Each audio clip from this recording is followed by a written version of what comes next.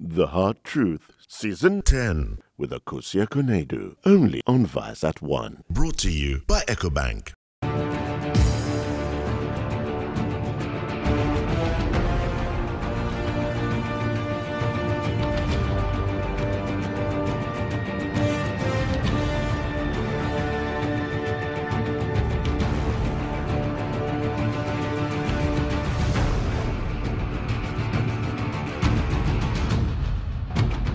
Another year, another State of the Nation address. The praises and questions begin to rise from the political divide. Some will praise the performance and delivery, while others will look to what has been achieved as against the promises made. The 2016 State of the Nation address could potentially be the last one for President Mahama, or he may have another opportunity in 2017. Is this address the real reflection of the nation, or the address has become an opportunity to make new promises in this election year. To discuss these issues and more, we have Dr. Eric Osei Assibey, a development economist and senior lecturer at the Department of Economics, University of Ghana. My name is Nana Akosua Konadu, and uh, this is The Hard Truth, proudly brought to you by EcoBank, the Pan-African Bank. Assibey Eric, welcome to The Hard Truth. Thank you, Nana. Thank you, sir, for coming. Right, thanks so right. much for having the, me. Let, us look at uh, Article 67 of the Constitution. It stipulates that the President shall, at the beginning of each session of Parliament and before a dissolution of Parliament, shall deliver to the Parliament a message on the states of the nation. Now, the president has given his address on the state of the nation, yet questions arises as to whether the address should focus only on what has been said or what is ongoing, or perhaps be uh, a platform to promise more interventions. What can you say to this? First of all, we have to understand what, what is it about the state of the nation. Uh, this comes into two forms. Uh, first of all, the, the president has to uh, tell the nation about the conditions of the state of the nation. That is the situation, something like doing a situational analysis of the uh, current conditions of the nation. And then also uh, have a way of looking forward, forward looking, if there are any policy initiatives to address whatever remaining challenges that are, we must also make that uh, bear to the people of Ghana so that one, we know where we are coming from, and then two, we will know where we are going. That that is the essence of the state of the no, nation. No, but to the best of your knowledge, you think the president uh, for there's a fourth time, right? Has he been doing that, giving us the true state of the nation? Well, he has done so. He has presented the state of the nation uh, to the uh, to the Ghanaian public, but as to whether he has told the story you know, as it's supposed to be told, uh, it's a different thing uh, because I believe that there are still quite a number of things that he may not have been able to touch on or he has not touched on. Uh, besides, apart from telling us the state of the nation on some key uh, sectors of the economy, the statement did not also look into the forward. I mean, what is it that the state or the president would do to address many challenges that are confronting Ghanaians today. It's almost about what we have been able to achieve. I mean, it runs through the entire uh, statement without being very specific on what is it that it is doing, particularly with regard to reducing poverty levels, closing the inequality gaps, uh, reducing uh, unemployment levels that are growing, you know, ensuring that the macroeconomic environment is stable, inflation is coming down, interest rates are coming down. What is it that this government is going to do to address these challenges that are facing Ghanaians? No, but you realize that at, at each point he, he calls out some beneficiaries of, of, of some interventions mm -hmm. and, you know, they wave at the crowd and right. they are applauded. Is, is that necessary in your opinion? Do you think that that's so necessary? In some situation, it may be necessary just to give a case study or to give some kind of evidence. You know, we have seen that being done uh, uh, President Obama once did similar one, you know, citing examples elsewhere what somebody has sent to him and all that. That is mean, meaning that moving away from the macros to the micro, you know, uh, situations, uh, how people are actually receiving policies and others.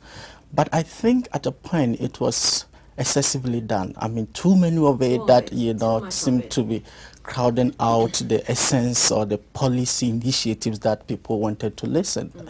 Uh, because these are micro um, uh, uh, unit issues that, you know, shouldn't people can read about them or the other agencies can make this uh, pronouncement or tell the story about some of these individuals that are making inroads or that are, you know, whose story needed to be told. But for the president to use a whole State of Nation address to be talking about so many of these people, I, I think it for me, it was, it was too, too excessive. Yes, it was too much. Was now, Eric, yeah. in, 2015, uh, you know, the State of the Nation address, the president said uh, that he would transform the economy from an uh, import-oriented to an export-oriented one. However, uh, figures from the central bank shows that in 2015, uh, Ghana's trade deficit increased uh, to the highest in that's in three years, and export declined while imports made significant gains with the country exporting about 10.1 billion US dollars. Right.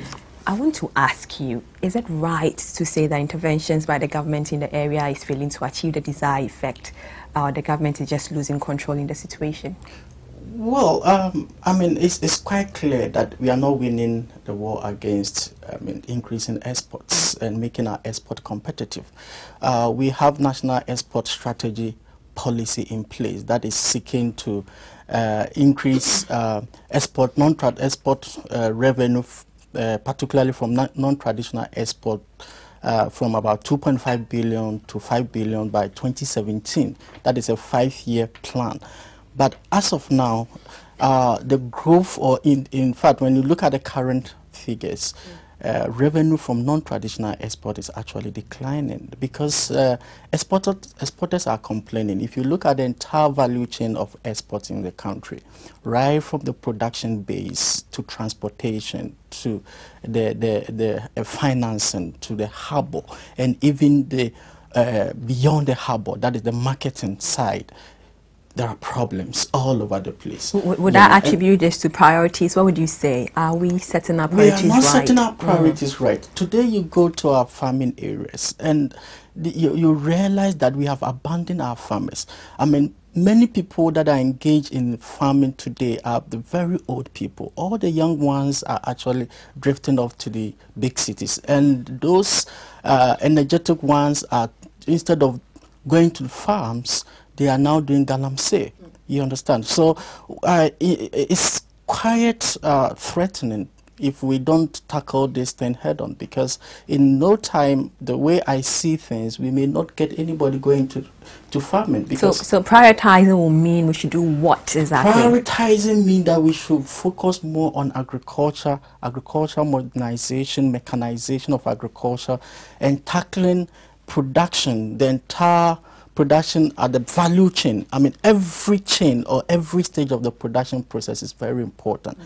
Transportation, how do we get the, the, the, the goods or the uh, crops and others to the uh, exit points? Mm. Uh, the cold vans, do we have cold vans for our oranges, for our pineapples and others? By the time they get to the exit point, that is the harbors, you realize that half of them are already mm, gone bad, yeah. you know the extension services, are they still in place? Nobody is taking care of them. They are not being well paid, so they are not going to the field.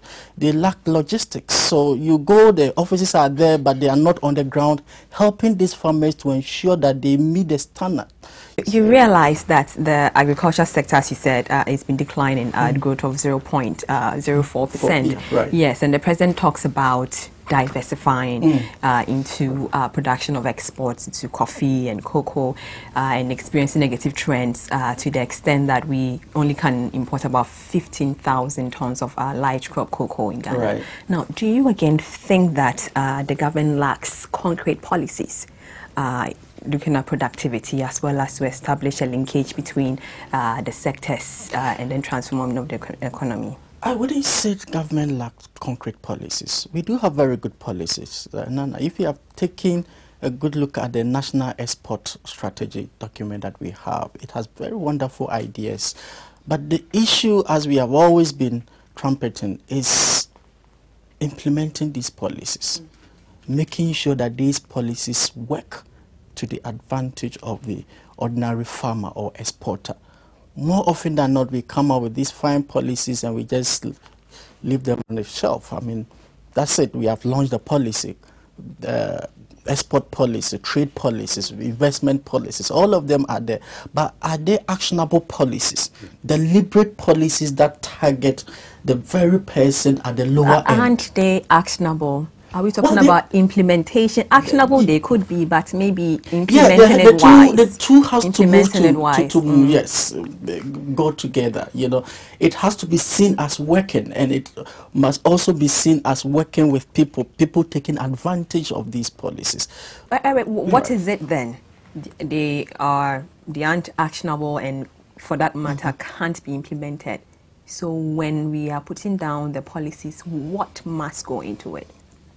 What must go into it is more, more often the policy formulation stage, we tend to involve even all stakeholders because all of us have been involved in drawing one policy or the other.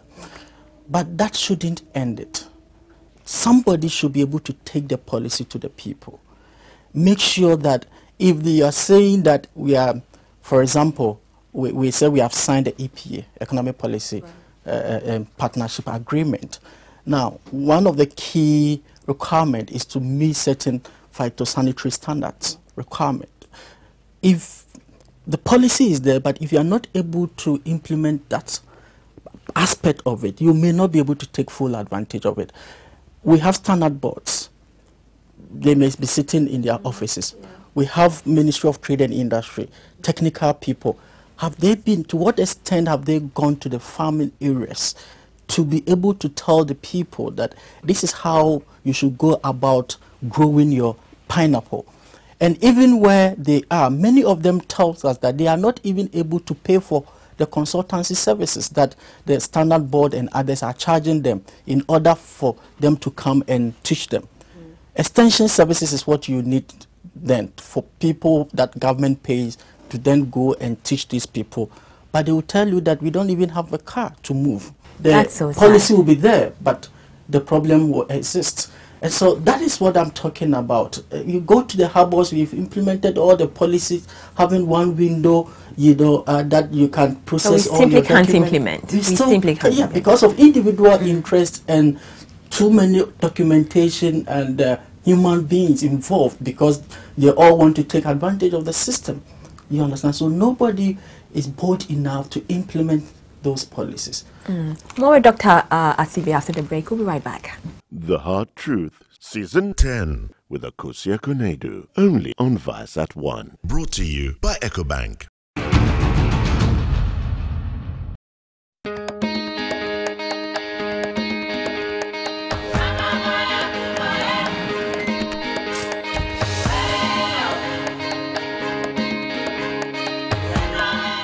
EcoBank, we see a great future. One that's full of opportunity for those who want to be the best. With over 1,000 branches of a single bank across 33 African countries. It's a future where trade can flourish without boundaries.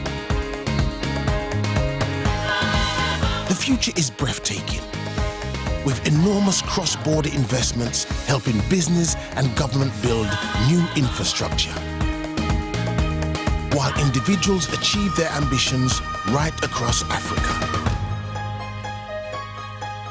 The future is Pan-African, and EcoBank is the Pan-African bank.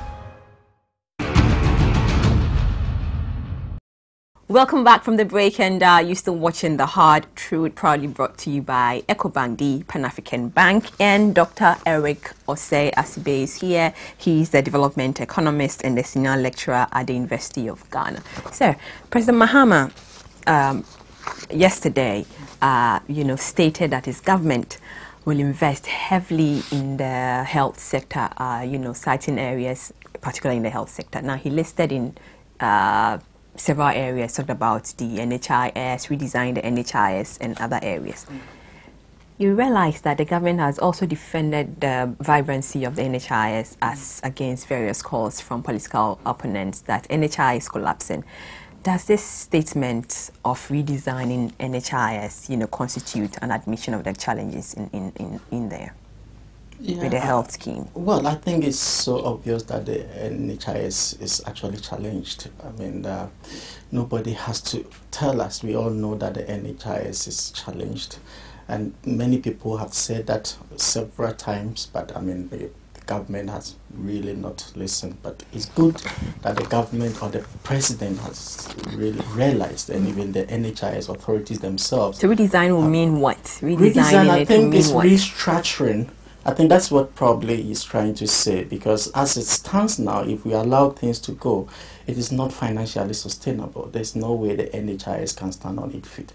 I believe that in redesigning it, as it shouldn't only look at the revenue generation aspect of the NHIS. So are you saying we should go back to cash and carry, pay? You, not necessarily. The yeah. NHIS is one of the best things that have ever happened to right. this country. I mean, people come from all over the world to understudy the NHIS. So it's a good thing.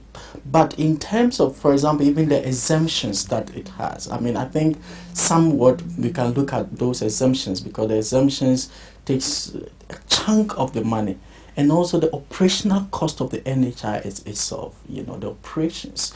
It, it takes so much of the money because if you have a chief executive that rents a, a house for about $5,000 a month, you know, using taxpayers' money or premiums that people have paid, mm-hmm. then you can you you not you shouldn't expect anything less than you know uh, a collapse of such an organization. So in restructuring, I expect the government not only to look at the revenues coming in, but also the governance system within the NHIS is key, particularly as many corruption allegations have been leveled against some of the top officials. And they are being dealt with anyway. Well, I think they are. hoping.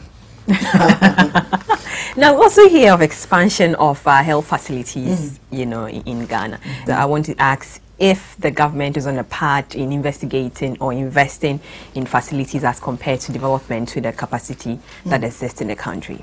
Well, frankly, uh, I think if it comes to fiscal infrastructure, I, I think uh, the government is doing something good particularly the number of beds that have been added to the already existing ones across the country, what is happening in Legon, mm. uh, Ridge, and other places. Uh, because when once you talk about access, uh, you know, you're talking about fiscal availability, you're also talking about uh, uh, the quality and all that. So in terms of fiscal availability, um, I think the approach is good. But here again, you, you, must also look at the affordability of it and then also the quality of healthcare delivery. These two things are key. So you cannot just put up the, the uh, buildings, you know, and not uh, focus on whether people have the money to access the, the health facilities and whether the, the facility will be able to deliver quality health services to the people.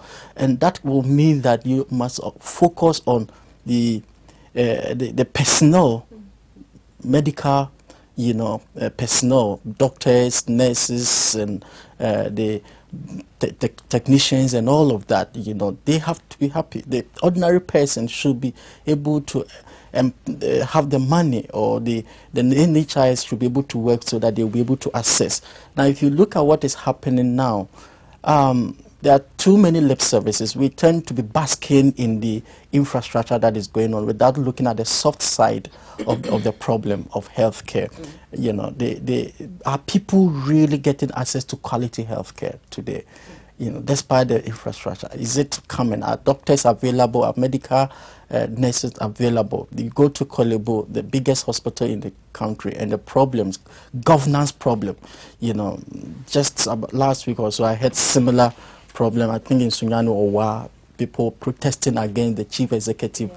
and all that. And I think politics is, you know, becoming too pervasive in the governance system of our, uh, you know, uh, the administration of hospital. It's, it's and I, I, think now. we need to uh, arrest the situation. Otherwise, uh, it's not really going to help in terms of health uh, quality health delivery systems in the country.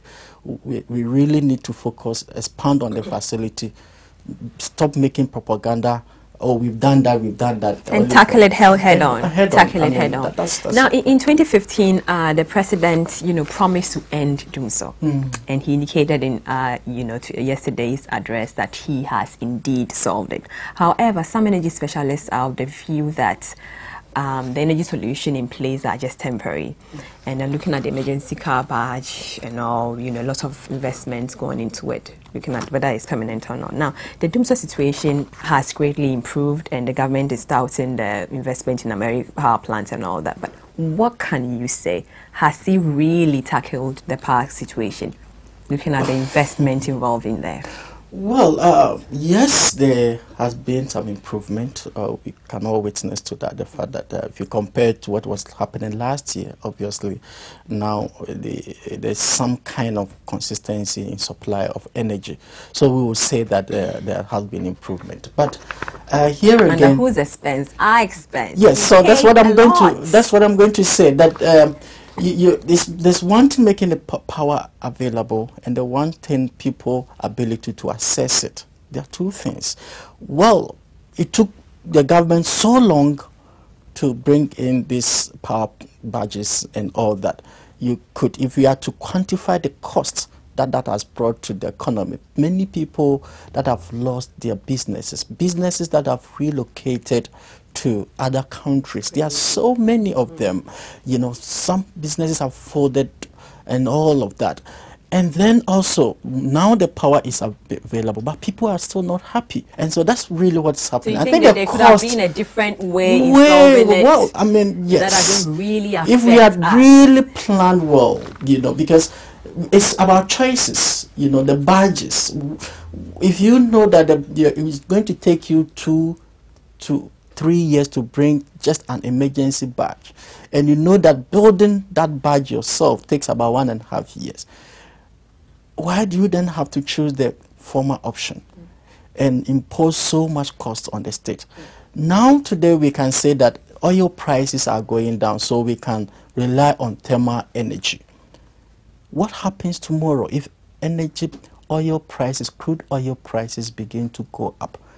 Then it means that many people, the electricity will be there, but they still cannot afford. And mind you, when a business is coming to your country, FDI, one of the things that they they look at, they don't only look at the reliability of energy, they also look at the affordability of it because it's, it's, it forms a key component of their production process. And you know, you are competing with other countries. There are comparator countries that are producing energy at much cheaper rates. And so, would they come? Obviously not. They will go elsewhere. So, it's not just about making the energy available, it, you must also ensure efficiency that will drive down prices of these tariffs so that you know to create an enabling environment for businesses to thrive. This is what we are looking for. The Hard Truth, Season 10, with Akosua Konadu, only on Viasat 1. Brought to you by EcoBank.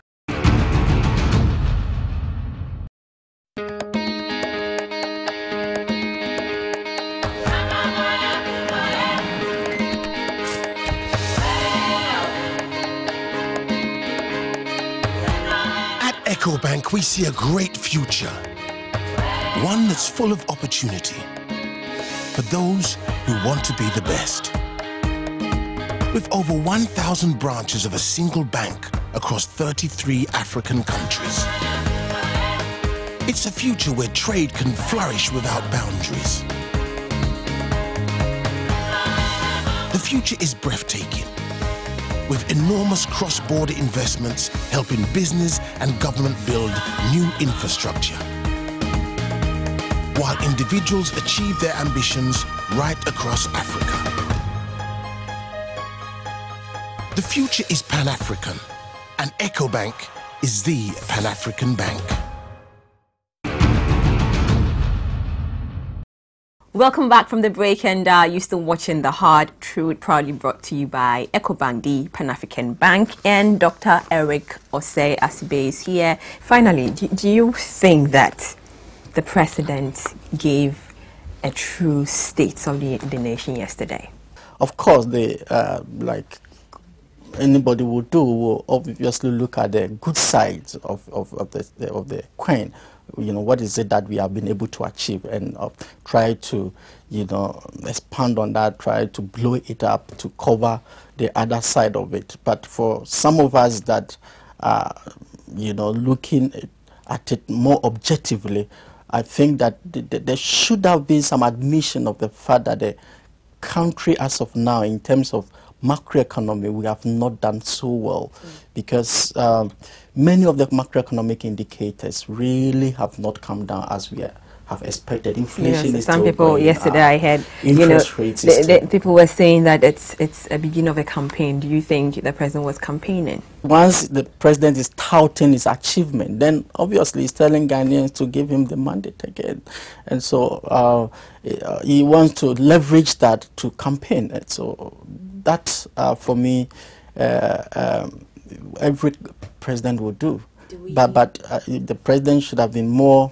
frank to the nation and also tell us about the difficult side of the economy. So do you think that Ghana should hand uh, the baton again to him in uh, this year, November 2016? Well, I'm always reluctant to make such political pronouncement. Uh, I mean, the Ghanaians have seen it all. You, you have to judge whether what president has done is good enough uh, he has um, actually delivered on his promises uh, to the nation and whether you think that he could have done better. These things should inform us. I mean, we should be very objective and assess it based on how we say things. So I, I will leave that to Ghanaians. I'll have my own perception about the situation. Everybody has his own. Um, but generally, I think that the president has done well in some areas, in some other areas he has not. So it is up to the Ghanaians to judge whether. So over 10, how would you rate the president over 10, 10 being the highest? I will not rate the president. I will only say that he could have done much better. Thank you so much, sir, for talking to the hard Dr. Eric Osei Assibey is a senior lecturer uh, at the University of Ghana and he is a development economist. My name is Nana Akosua Konadu and uh, this has been The Hard Truth and uh, it's been proudly brought to you by EcoBank, the Pan-African Bank. Thank you so much for watching. Bye.